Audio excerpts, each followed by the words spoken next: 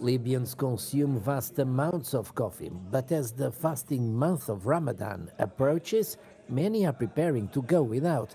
The tradition goes back centuries in Libya, but when Italy occupied the country in 1911, traditions changed.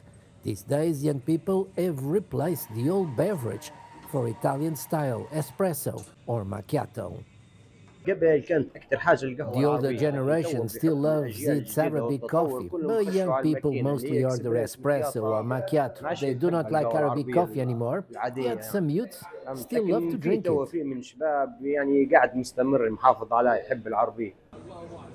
Some locals like to boast that Libyan coffee is different and unique. Some, like this shop owner, will definitely be missing his favorite drink.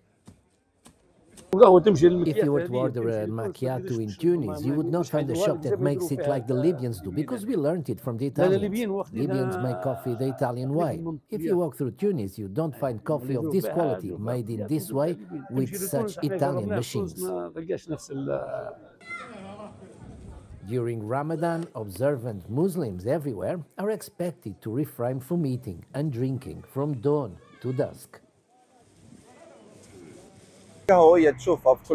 You will find that coffee is a part of every meal. During Ramadan, coffee is on every iftar table. It's essential in our culture.